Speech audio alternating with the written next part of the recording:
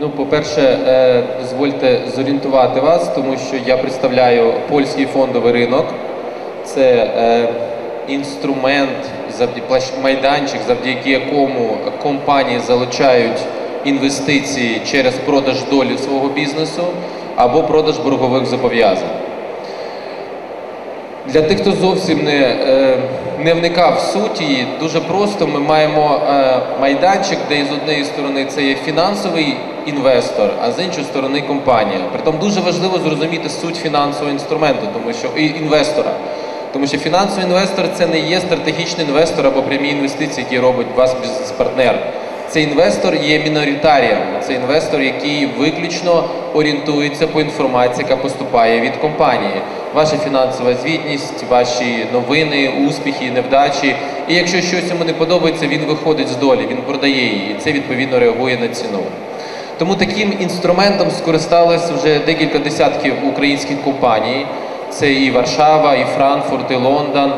І е, правильно було сказано, і крупний був бізнес, і середній бізнес, якщо в українських реаліях говорити, тобто самі менші інвестиції, там от Cyril Planet це було декілька сот тисяч євро залучено, і це більше була не інвестиція, як стратегія розвитку. Але е, Почнемо з реалії сьогодні. Однозначно, так як ми маємо фінансового інструмента, е, фінансового інвестора, і ми говоримо про такий вид залучення капіталу, е, український бізнес сьогодні не є привабливий. Е, Це в першу чергу неймовірно великі ризики для інвестора, і макроекономічні, і політичні. Це і той досвід, який вони отримали по попереднім інвестиціям, про які я говорю трошки пізніше. Але хотілося б навести приклад Польщі і України в контексті тому, що якщо ми подивимося на українських е, 11 українських емітентів, що є на Варшаві, і ми маємо тільки одну польську компанію, пов'язану частково, якщо можна Яцек сказати, з аграрієм, це е, Дуда, переробник м'яса. А більше аграрних компаній на Варшавській фондовій біржі в принципі немає. І тут дуже фундаментально е, є різниця, яку ми повинні зрозуміти і використати для себе. І чого був такий бум на українській аграрії, і чого ми можемо і далі це використовувати, хоч і на- наламали дров, е, як кажуть, по самі вуха. По-перше, е, ну, якщо дуже коротко, е, польський аграрний ринок це є мікрохозяйства. Ви, ви тільки на секунду вдумайтесь. Середній показник, Яцек прав 5-7 тисяч, ой, 5-7 гектарів на одне хозяйство. 5-7 гектарів. Хозяйство або там підприємства, які мають більше 100 гектарів, це десь до 10% складають в цілому по Польщі. Це десь більше 100 гектарів, не, не тисячі. У нас, якщо говорять про тисячу гектарів, то, мабуть, в Україні це говориться тисячу гектарів, то щось маленьке у вас тут бізнес. У них 100 гектарів це вже великий бізнес. Історично це сталося тому, що коли був післявоєнний розподіл землі, у них зразу була приватна власність на ці ділянки. У них не було колхозів, у них не було цей, як це називається, колхо, кол, Приватизація, так? Напевно. колгоспів і цих всіх у колхо, я навіть не знаю ці слова, бо я вже Совхози, колхози. Так, так, я вже іншого покоління людина. І відповідно, е, коли розвивався е, другий момент, у них е, історично сформувалася велика спеціалізація. Тобто всі хазяйства фокусувалися на якісь конкретні задачі. Це або там фрукти, овочі, молоко, м'ясо і так далі. У них земля була в приватній власності виникла, і це теж такий важливий елемент. Зараз ми будемо говорити про фінансування цього е, бізнесу і напрямку. Тому е, після того, як Польща увійшла у ЄС, відразу відкрились ринки і зрозуміло досить е, при- привабливі гроші для цього сектору. Також зрозумійте, забув сказати до цього, з точки зору Польщі, навіть ще до сьогодні це існує. Якщо у вас операції до 1 мільйона євро, вам не треба навіть ніякої фінансової звітності готувати. Ви повністю можете вести, як вам зручно, хоч там нам не знаю, в блокноті всі ваші показники. Вас ніхто не буде чекати. Закон не зобов'язує вас вести фінансову звітність.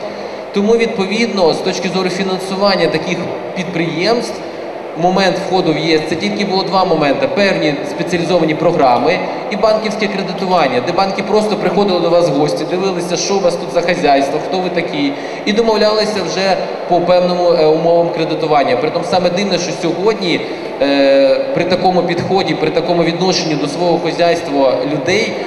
е, пов- Неповернення кредитів складає 1-2%. І то це причини зазвичай якихось там травми, хто працює на цій землі, чи якісь там інші елементи. І е, сьогодні найбільше е, цей сектор відповідно фінансується там з банківського через банківське кредитування.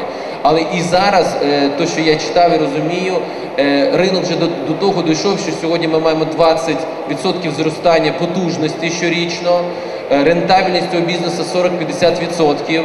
І е, бізнес не потребує зараз коштів для фінансування оборотних, е, оборотних коштів. Їм, якщо треба гроші, то це виключно там нове обладнання або якісь такі ну, ну, важливі зміни у процесі виробництва. Тому і про які можна говорити фондові ринки, е, як такові, які, як я сказав, просто по своїй природі трошки по-іншому е, розглядають принцип фінансування. Ми маємо міноритарів ми маємо компанії. Компанії мають відповідати певним якимсь критеріям. І в першу чергу інвестор повинен зрозуміти, що там робиться, які плани, як відбувається, які фінансові потоки. Інакше він просто ризикує, він не розуміє. Він, він не може приїхати і кожне підприємство особисто побачити. Це, це, це не, не той формат інвестування. І тому е, відповідно сьогодні е, ми маємо те, що тільки одна польська компанія має е, існує на Варшавській фондовій біржі, на майданчику фондовому. І всі е, аграрний сектор іде по шляху е, об'єднання зусиль для оптимізації бізнес-процесів. Тобто, якщо тут половина залу займалась би фруктами, вирощуванням яблук, то відповідно ми просто з вами створимо надбудови інфраструктурні, як нам бистро, дешевше разом зібрати ці яблука, бо сезон вже в один момент відбувається. Як їх зберегти, як їх класно наняти аутсорсовські якісь компанії з Америки, щоб вони їх класно забрендували і продали.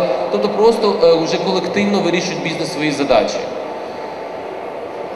Е, в контексті українського бізнесу, тобто ми розуміємо, що е, тут і є та ситуація, чому великий попит, незважаючи навіть сьогодні неготовність інвестувати в український агросектор, все рівно е, фінансові інвестори, ті інвестори, які вкладають е, більш крупні гроші, при цьому це не обов'язково, ну. ем, е, там, я не знаю, якісь фонди величезні, чи банки, чи там організації.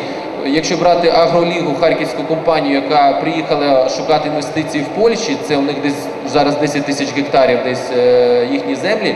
І під час е, презентації по польському ринку підходили люди, пенсіонери в таких шортиках і казали: ви знаєте, я почув про вашу компанію, мені так подобається. Я там накопив за своє життя певну кількість грошей. Я один з ваших інвесторів хотів хотів з вами привітатися і ну, побажати успіху. Тому що там немає можливості так профінансувати аграрний сектор для польського інвестора, який, наприклад, працює в місті, чи назбирав якісь інвестиції, чи тощо. В принципі, інвестувати в аграрний сектор немає можливості або неси в банк, який буде інвестувати в аграрний сектор, або платити податки, держава буде компенсувати там невеличкий відсоток з аграрного сектору. Тому для України це неймовірний потенціал реально запропонувати себе для тих інвесторів, які просто в Польщі не знайдуть такі компанії, не знайдуть такий бізнес. І це той е, ну, елемент, який додає е, ну, шансу класно продати, донести себе як аграрний бізнес, переробний бізнес або пов'язаний з цим. Безперечно, е, треба зрозуміти, що е, як в Польщі не вести фінансову звітність тут не піде. Тут хочете, не хочете, вам треба переходити на міжнародні стандарти фінансової звітності, бо інвестори, аналітики вони орієнтуються цими показниками. Вони не приходять в бізнес, вони читають про ваш бізнес. Зрозуміло, вам треба все ж таки мати якісь розміри, і просто там фермер з е, 5 гектарів це недостатній розмір через е, ті всі підготовки, консультантів, елементи для того, щоб залучати ці кошти. Але все рівно, е, враховуючи український е, бізнес, е, е, особливості, е, є багато можливість людей об'єднатися в якісь асоціації, угрупування або якісь конгломерації, певні такі е, профільні, які можуть працювати з такими фондовими майданчиками і залучати, тому що варіантів немає. І е, безперечно пройде ті проблеми, які сьогодні існують. Я переконаний, і політичні, і економічні, це питання часу. Ну да, не рік, ну п'ять. Ну це, це все рівно ми пройдемо. Але е, підход до того, що розуміння, що в принципі у нас є можливість залучати кошти, але нам треба до якихось певних міжнародних стандартів ведення бізнесу тягнутися, це дає велику е, опцію найближчим часом.